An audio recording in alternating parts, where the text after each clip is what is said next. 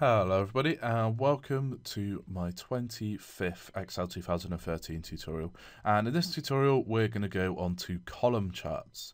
Now we alluded to these a little bit in the last tutorial uh, and let's just hover over and see what the description is.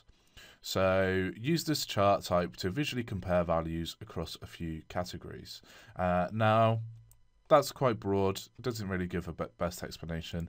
Uh, we're going to compare these different categories here, uh, but we're also what we're going to do is whereas this one we're just doing the total, we're going to split out by quarters. So it just gives us a little bit of an indicator over time, uh, which is very helpful. Uh, so I'm going to select all of these uh, and then I'm going to click on my column and I'm going to hover over uh, and it's going to give me examples of the different types that I want to use. Now see this one puts them all next to each other and shows you the, the them based on the uh, the the categories. Um, I'm actually going to go to uh, this one, the stacked column, because this is most useful in this situation. Um, and uh, I've got my categories uh, and these the wrong way around. I actually want my quarters to be on the x-axis because that the x-axis is representing the change in time. Uh, so I'm going to go up here and I'm going to go on switch row and column. And then what this does is it's putting my quarters here instead, uh, and then it's putting my uh, locations down as the legend. Uh, I'm also just going to move this to the right hand side uh, just so that it looks a little bit tidier. It doesn't have both of them in the same place. Uh, I'm just going to switch back quickly to the the other type of chart that we had, um, which was this one, uh, just to show you the difference between the two. So this one puts them all on their own kind of uh, y-axes, I guess, uh, and gives you the comparison between them. So you can kind of see, it's not as clear for this example, but you can see that London is going off on its own like that and going up. You can see that Beijing slowly going up. You can see that Delhi slowly going down. You can see that Paris is increasing, but nowhere near the height of what the others are. Uh, and you can see that Berlin is remaining at a fairly static level. Now, I Oh, that's not what I wanted to press. Switch that back again. Uh, I'm just going to go back to the stacked so that I can show you what stacked is. Uh, we want this one, press OK. Uh, and then you can see that this one is going to put them on top of each other. So we got both the total, so we didn't even need to highlight total. It's going to give us the total already. You can see that it goes in quarter three up to around about 300 or so. Uh, and or quarter four even goes up to almost 300.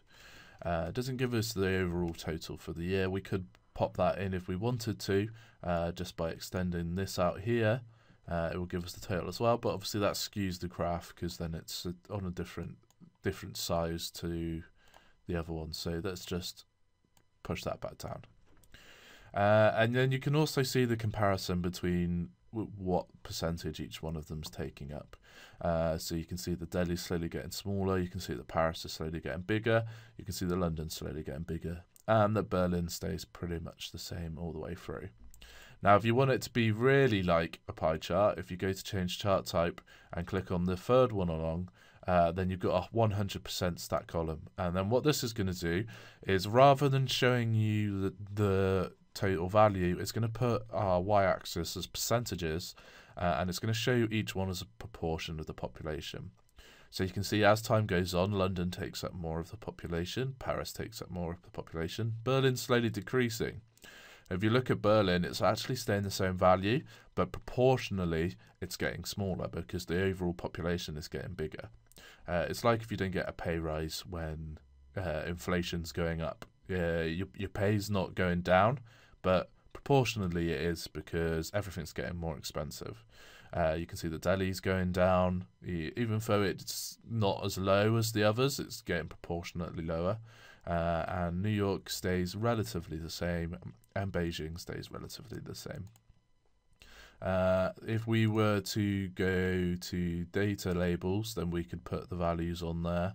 Uh, we could go to more options and go on to here, label options, uh, uh, and we could put all kinds of crazy things on there, which I'm not going to do.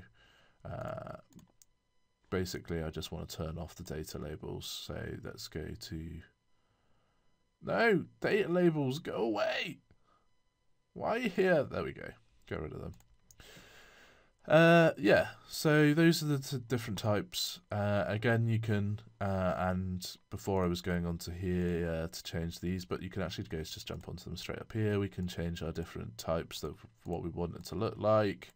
Um, and uh, it keeps turning data labels on every time I blooming click anything. I, I hate data label logic of Excel. Uh, if you hadn't got that idea already.